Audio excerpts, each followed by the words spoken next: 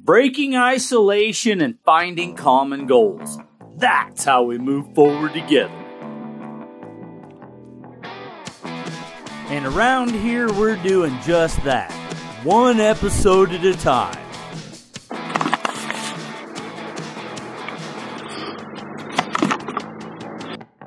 Peace. Yeah.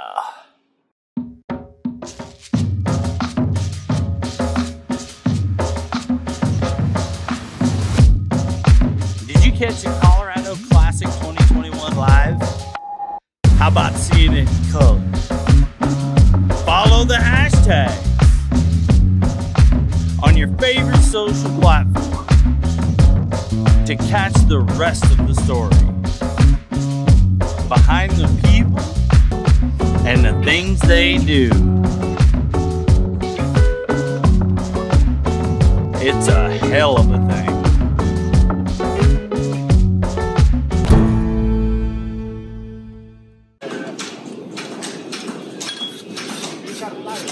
Hey, if you were a sponsor of the Colorado Classic, uh, watch for your logo and stick around to the end to see how you can get one more boost out of your logo placement. Thanks for your support. We're just trying to give back. Okay, you see, Tom's kind of come out with his final pairing up heat here. And I went with the last end of this sequence because it's super easy to kind of fall in love with the process and watching the shoe be built. But right now is when this class is won or lost. Did you build those shoes fast enough and nice enough to be able to do this level of finish work and this level of pairing up? Watch this process. It's fascinating how much time they have to get these shoes paired up.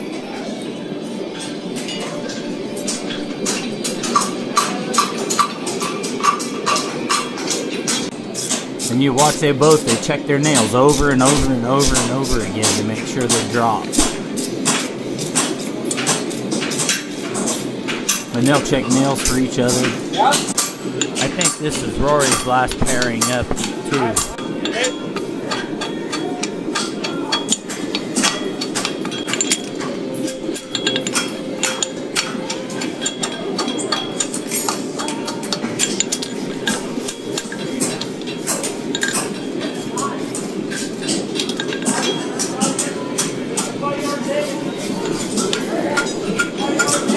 Look at the detail on these suckers.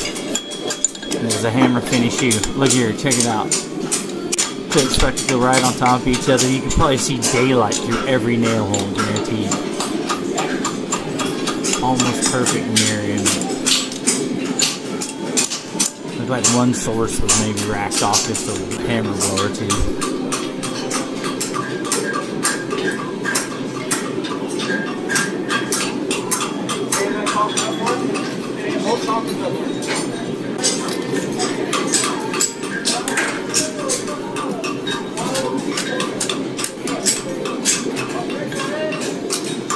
There he goes, checking the nail holes again.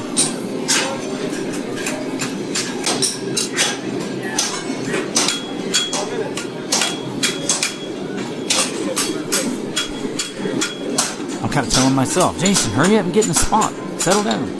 There they go, pairing them up. Look at them. And just right on top of each other.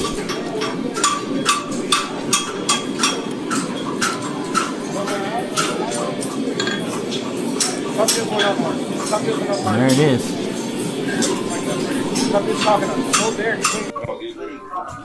a wide bump and a narrow toe. You know what I mean? Just to build section. Yeah, but that's too much when you can draw it all out. When you draw it out, you get get thickness. When you get thickness, you can do more ironing. When you do more ironing, you get more lines. Yeah. So it's when you can't hit something that sucks. Serious. And I was getting to the point where I was getting too big, so I couldn't hit it anymore. So How much did you cut? too much. I would have cut if I'd do it again right now. I'd probably cut. I'd probably cut 11 and a quarter, 11 and a half, somewhere in there. So quarter, half inch left. You know, just build the section just a little bit different. So if you were making a run at it to win it, that's the kind of shit you would practice. Oh yeah, yeah, yeah. your data Like, book and I would have during if that was a practice go, I would have chucked that shoe, started time over again from where I knew my trim stopped, build a new shoe. If I wasn't happy with that one, cut time, chuck it, start over again. Yeah. Until I build the shoe that I want for that foot and that size, that section. Now that's something you keep track in a book, or do you just remember that? You got it all up there. I'm way not smart enough for that. That's the only thing I can remember. So like, as you do more contests and you build more shoes, you get more of a arsenal of measurements, more of an arsenal of things you can do. I've built fishtails before. This is just a variation of fishtail. I already knew how to do it. You know what I mean? Same thing like like you guys are working on plain stamps and shoe modifications. So when those shoe modifications come on handmade in the future, you already have that stuff to fall back on. You know what I mean? So now you're just dealing with raw material to do it with. Well, shoes that I haven't really built maybe that much of, but like for the most part, like I've gotten a lot of shoes already built, and I've put a lot of them on feet. You know what I mean? Like put Euro bars on feet, I've put Roadsters on feet, I've put Two and Fullered on feet, Z bars on feet, fishtails on feet, patent bars on. You know what I mean? Like the longer you shoe, the more you can get there. That's the experience. So. Do you make your shoes for everyday work? Fuck no. Fuck no. I want to go make money. Yeah. Like I put handmades on. Yeah, I put money. I put handmades on, but I don't do all of them. And they're at home probably. Yeah, most of them are at home. I don't build them at the horse unless it's like a very specific case, right? Or I want to do something that I don't have the ability to build in a keg I have on my truck. You know what I mean? Yeah. So But you don't build inventory.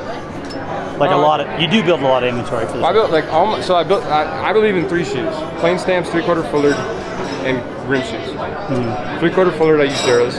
Hmm. Rim shoes I use con- uh, concave that I spin myself mm-hmm. because I don't I don't want to spend that much money on hand like Billy Crothers handmades and all the other concave shoes. Yeah. And it's really good practice. I've learned the most turning concave than I have out of any other shoe in my opinion. Because you can build them fast, it doesn't fatigue you, and you get to see instant results. You know what I mean? So if you take three heats and build a shoe and then you put it on a foot and it tells you all the feedback, it's way better than taking seven heats to build a shoe, putting it on a foot. You know what I mean? Like Yeah. you, can, you can do more of it. It's more efficient. You can make faster, quicker adjustments to learn from. And then so as you build that up, then you can go to the more longer heated shoes. and shit like that. That's what I mean. That's what I say. I'm not saying it's right or wrong. Yeah, yeah. That's just what I've done, and it's helped me a lot. Yeah, because I did the year of 381, mm-hmm. and that that changed It's my massive. practice. It's massive. How it changed how, like, hmm I feel like you need to go through like the concave swing, learn a body position, tone position, hammer angles, how to manipulate sections that's very finessey, and then go three eighths, three quarter, you know, three quarter fuller, and do all that kind of stuff, and then jump to three eighths by one, start running sections, understand sections, because it's just compounding on each one of those. yeah, You know what I mean? Like, if you if a person did a year of making concave on feet, a year of putting three quarter fullered on feet from three eighths by three quarter for the most part, and then jump for only three eighths by one, yeah, by the fourth year that person would be savage, right? yeah, Like no matter what came their way, they'd be like, ah, yeah. I mean that's Facts. yeah, Yeah, because I didn't get into concave because I don't have any real call for it. So I didn't get into concave until I started competing, sure, and then that got me into tool, like the, that Make load us- reads tool yeah. fuller, and that's fun. yeah. That's know. that's like a massive mind fuck. Like if, and, and, so, and then on top of it, so the guys that are legends like Gary Darlow about putting tool and fullered on feet, it's because they put a pile of it on. So it's the same thing. If you went from three eighths by one for a year and then only did two and four for a year, it would just step up. Yeah, Fast, efficient, complicated shoes. because you learn a ton from that tool and fuller just building a section, right? Learn like, like, And then you learn a ton more when you start applying it to an actual foot. yeah, Yeah. Yeah. It's crazy. because that changes your trim. Mm-hmm. Like, So somebody left that at my shop.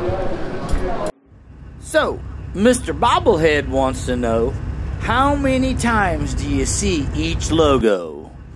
Count them up, put it in the comments.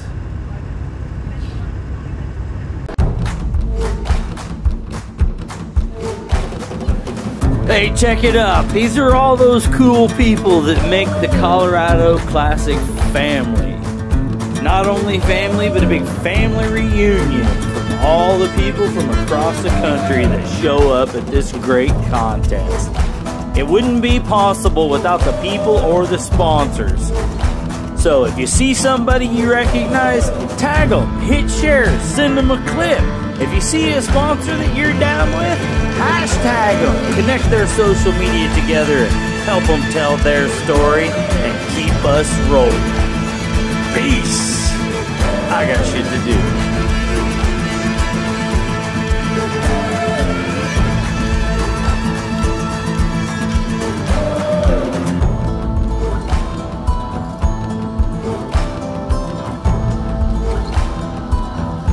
So the Dodgestone Memorial is one that's near and dear to my heart, and uh, we'll get into that later. But the thing is, I'm glad I was here for this next part, and I just had to leave it in. So stick around to learn a little bit more about the backstory on the RMFA.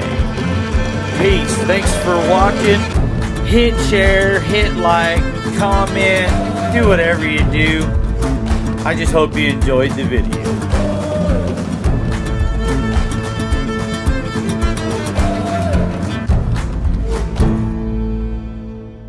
little tribute to God. Um, I don't want to been here for the banquet, so just thought it was appropriate um, to do that this year. A lot of young young guys in here that probably have no idea who Dodgestone was, but he passed away in uh, like 2012, I guess.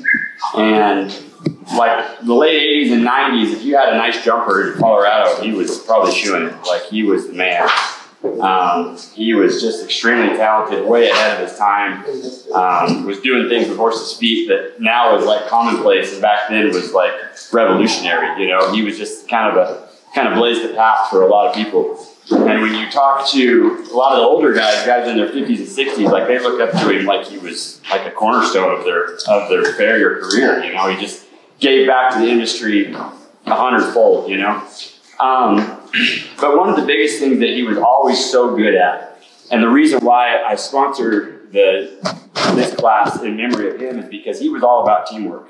Like he felt like we were always better and stronger to shoe horses as a team and to come together and, and work together as farriers instead of being lone rangers and doing your own thing. And he was never one to ever say anything negative about another horseshoe. Like no matter what, he, he always said the greatest way to show insecurity was to speak ill will of another horseshoe. Like you would never do that, you know?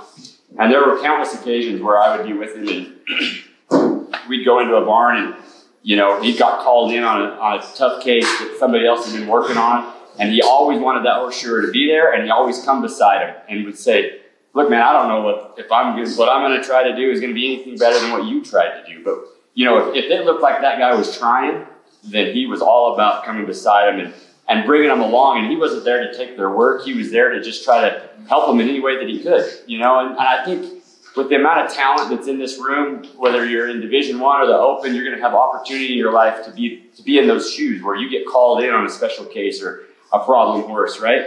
And and be that guy. You know, don't don't talk bad about the other horseshoer. Just come beside him and say, "Man, I don't know if what I'm going to do is going to work or not, but let's try it." You know, and instead of being the opposite of that and, and running his name in the mud and and uh, you know taking his business or whatever, you don't have to do that. You guys are all going to have thriving businesses because you're right here today and you're, you're devoted to your trade, and so your businesses are going to thrive. You're going to succeed. So so that's kind of my deal about Dodd. He was he was a lot of fun. Uh, he had Parkinson's disease at the end. I was fortunate enough. I moved to Colorado in 2004, and I met him at, at Cliff Carroll's Supply House. You know, and I didn't know a single person that owned a horse at the time, and wanted to keep shoeing horses. So, so I was there, and he said, "Well, what do you got going tomorrow?" So I jumped in the truck with him, you know, and spent the next three years with him. And the last the last year, his Parkinson's was so bad that he was in a wheelchair. And so I would go three days a week. I'd go to the assisted living. I'd pick him up and put the wheelchair in the back of the truck, and we'd go shoe horses.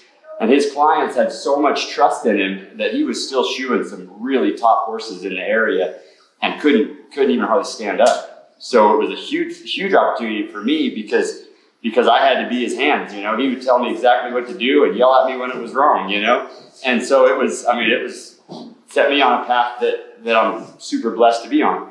Um, but but that was the kind of trust that he had from his customers that that even though he wasn't the one doing the work, they still trusted him to shoe the horses. And at his funeral, there were there were over hundred horseshoers there from all over the United States, and it was it was pretty cool. And every one of them came just out of respect for him, you know. So so we give this buckle. Uh, it's a big deal to me. I, you know, I, I think it's you know it's just kind of a sign that you know we can we can be that. You know, we can. He's all. He was always about the horse. I mean, it was always about you know what's what's in the best interest of the horse, and and his horses did really well because of that. So, with all that said, um, I'm proud to present these two buckles to the draft class winners, uh, Mr. Tom Peterson, Mr. Rory Bauer.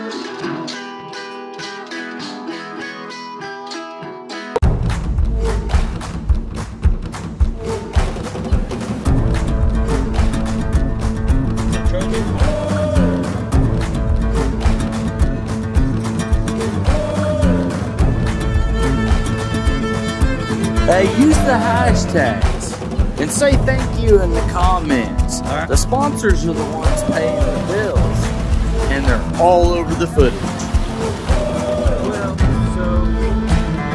So we're Yeah, doing a sound awesome. check right now. Okay. So all we're doing right now is that bit of the video where you kind of gotta conspire a little bit and get on the same wavelength, you know. Well, do you have another one of these? I'm gonna owe you with this doing this deal, but that You liked it? I did. Okay. Yeah, I got lots. Yeah. And so what are these? You need that one's called Zipfizz, but Zipfizz. And what is it They're like? just electrolytes and vitamins and minerals. And they don't so give you the scours. Um, I think if you drink a whole bunch of them, but I haven't gotten the, the screaming shits. It's just like it's been nice for me because Yeah. I, I uh, am kind of regular taking them a Yeah. little bit more. Yeah. That Um, gets to be kind of an important thing. Oh god. like, I don't know. Yeah. You know, shoeing horses with a unpredictable tummy is uh, its own set of challenges, I think. Kettle shoots and paint cans. right? No shit, man. You need No, more water. kidding. You can use some out of the cooler, or I can get you another bottle. You should probably make I got. anyway. I gotta get me a good. I like that jug. That's a that's a pretty I've user I've got friendly one jug. of these and then a half gallon one. Yeah. Caleb stole my half gallon one. It's filtered water. It's just not real cold. I don't really like water to be real cold. I I want it to cool me off, but not Yeah, when it's super like cold, it's shock hard my to- gizzard. Yeah. COVID. Okay, there. Then you have this I handy it little. again. You have this handy little reusable container when we're finished. for matches or toothpicks or, Yes, or bobby pins or some marijuana. Oh, who could be? Who could be?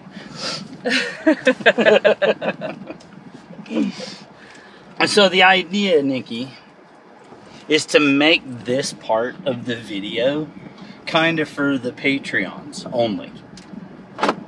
Right? And so then, like, we can kind of be I'm not showing anyone my boobs, Jason. Well, I Even mean, though they God pay, dang it, you know? Nikki. Sorry. Fan service. Fan service. They'd have you'd have to point the camera further down, like Yeah, way- but you're way- supposed to bring the MILF value to the show. Oh, I mean, yeah. come on. Well, I got the old lady part down. Well, I mean, You know, you know. the the mom. yeah. Yeah, and I've already got you singing You Can Eat Crackers in My Bed Anytime on oh, camera. Oh, Barbara. Oh, Yeah. yeah. That's going to get inserted. So that's going to be an intro somewhere Oh. along the way. Yeah. Those crazy white legs. They they're too scary. I know. I mean, who could bear to hang out with a dude in I mean, shorty you shorts gotta and painted be fingernails? really, really comfortable with yourself, and and like pretty, pretty good size hippie. what are you saying? Saying apparently I'm a hippie, but Oh yeah. I don't know how come. You know, Yeah, like yeah, yeah. I'm a little bit uncomfortable. Yeah. You're good at that. My shorty shorts just Yeah, all quit wagging your leg. I knew this was gonna be genius. How many times? How many times you got an apprentice sitting in the back seat, rear view mirrors right there, Yeah. and they're like sitting all man spreaded, right? And they're shorty shorts because that's what they're out and about on, right? And like, what do you do about that? Besides, like, or you look back and go, "Whoa, there it is." Well, did I ever tell you about nearly naked girl? Nearly naked girl. Yeah. Okay, let's talk about nearly naked girl. That's fun. Yeah. Because that could be anybody. Yeah, yeah. Yeah. So yeah, yeah. It's just this little gal at a barn, one of the guys that I go help. And last summer I was in there, you know, just working away. Shorts not too far off. Yeah, yeah. the house, you know, Yeah, with those yeah. little workout shorts and just a little sports bra. And, you know, I'm busy on the foot and I look up and there's all the kibbles and bits. Yeah. Yeah. Poor little gal. Like, Eh. she's just as sweet as she can be, but oh my, I did not prepare myself for that day. Yeah. But yeah. apparently that barn is a favorite of some of the other younger male helpers. And I'm Oh. like, no, we don't. Oh, you think? You think? Yeah. Yeah, you think. So, but Well, and I've got no problem with that in and of itself.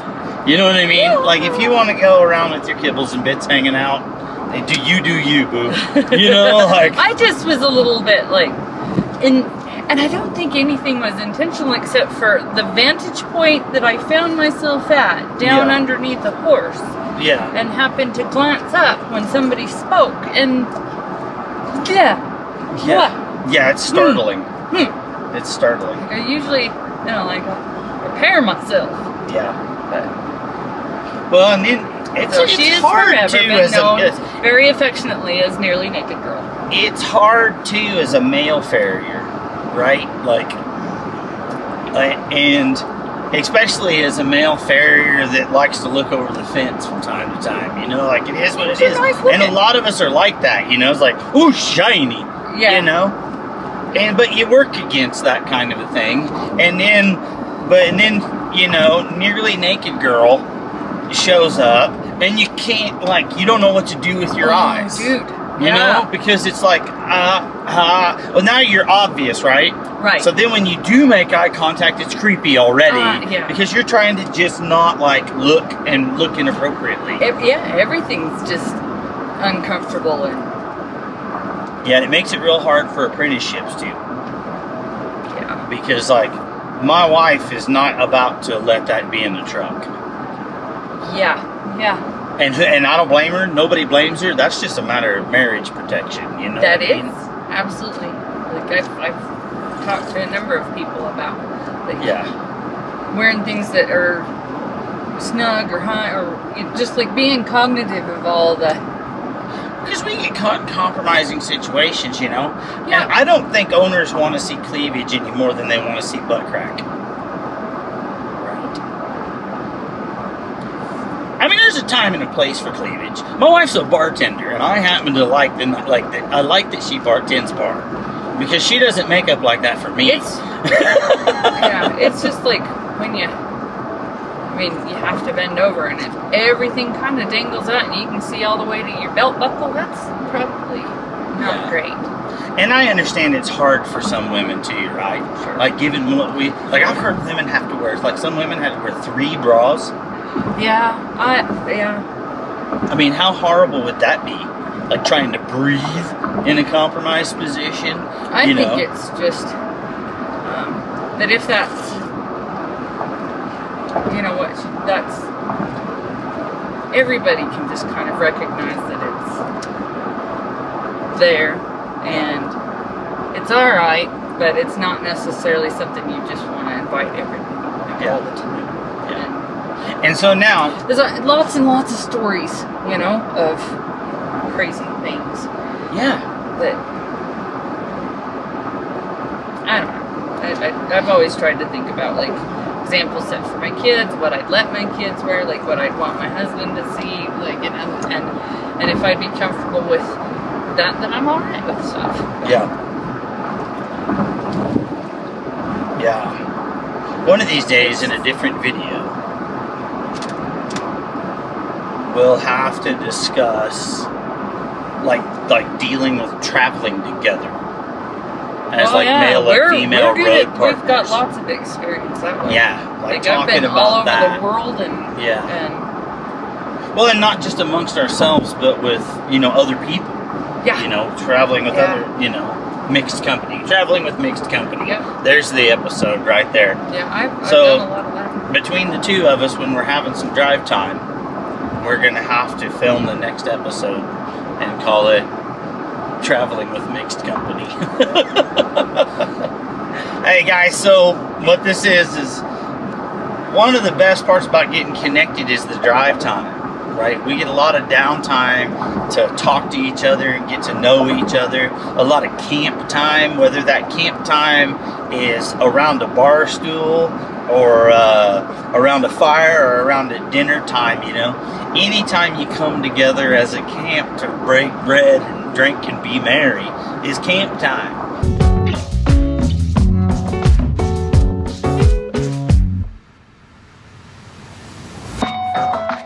Our crew is the heart and soul of what we do. We travel great lengths to make whatever sacrifice to gain the experience, and all in the name of the horse.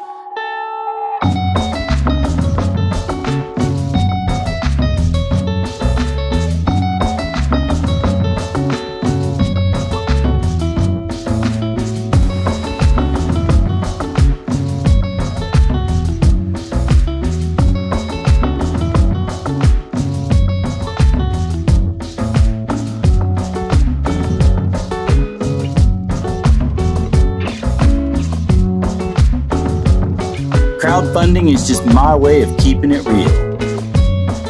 And our patrons are all in for the journey. The experience is the destination. Peace. This is the Road Terminal Center for World Domination.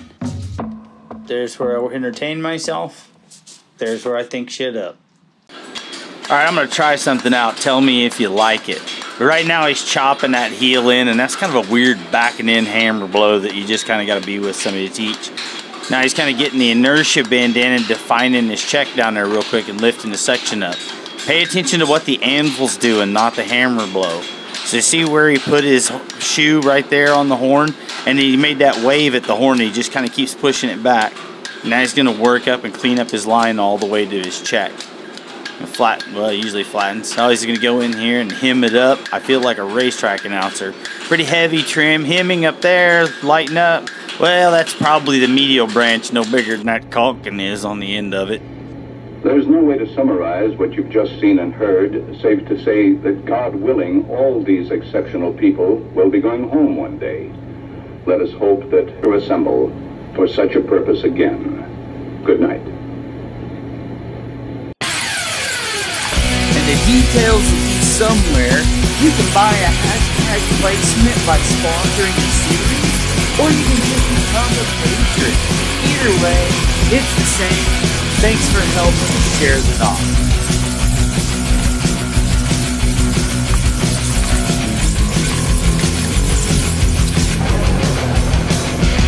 Thanks for helping us share these. Peace.